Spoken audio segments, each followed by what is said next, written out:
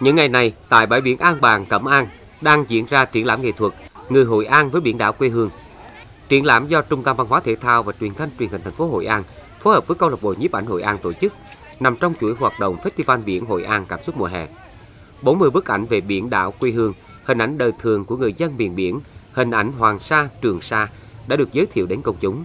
Qua đó quảng bá tiềm năng vẻ đẹp của biển đảo Việt Nam, tuyên truyền giúp nhân dân và du khách hiểu rõ hơn về chủ quyền của Việt Nam đối với hai quần đảo Hoàng Sa và Trường Sa. Đồng thời giáo dục truyền thống cách mạng, ý thức trách nhiệm của mỗi cá nhân trong việc bảo vệ chủ quyền biển đảo thiêng liêng của đất nước. Triển lãm diễn ra đến hết ngày 30 tháng 6 năm 2022.